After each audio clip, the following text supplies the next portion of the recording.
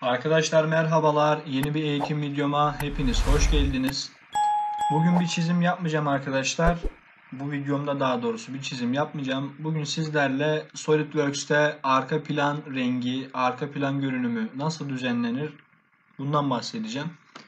Şimdi arkadaşlar yeni bir part dosyası, çizim dosyası açtığımda beni bu şekilde bir ekran karşılıyor biliyorsunuz. Ben öncelikle daha önce yaptığımız çizimlerden bir tane dosya açacağım arkadaşlar.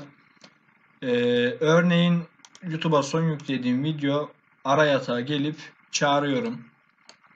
Şimdi bakın şurada görünüm ayarlarının yanında sahne uygula kısmı var arkadaşlar. Bunun yanındaki oka tıklıyorum. Burada bakın çok geniş bunun kütüphanesi birçok sahne mevcut arkadaşlar. Fakat ben öncelikle şunu söylemek istiyorum. Sizde bu şekilde hepsi gelmeyebilir. Ben daha önceden düzenlediğim için bakın şu en alt kısmına bir geleyim. Ne demek istediğimi anlayacaksınız.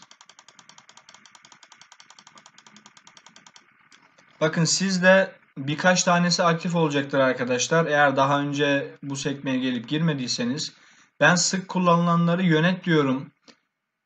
Buradan tüm sahneleri seç veya tüm sahnelerin seçimini kaldır diyebilirim.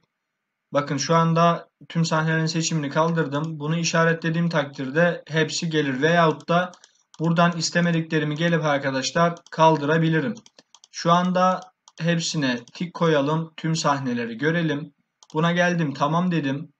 Ve bakın bende şu anda düz beyaz aktif. Gelip buradan avlu dersem arka planım bu şekilde değişiyor. Ve aynı şekilde fabrika diyelim. Bakın birçok sahne mevcut. Kömür karası. Bakın parçam görünmez oldu resmen. Aynı şekilde zemin dolgu ışıklı siyah.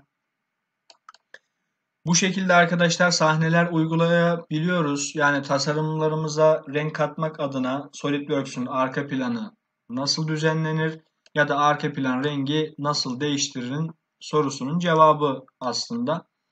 Bu videomda da sizlere bu konudan bahsetmiş oldum. Lütfen kanalıma abone olup videolarıma like atmayı da unutmayın. Bir sonraki videomda görüşürüz arkadaşlar.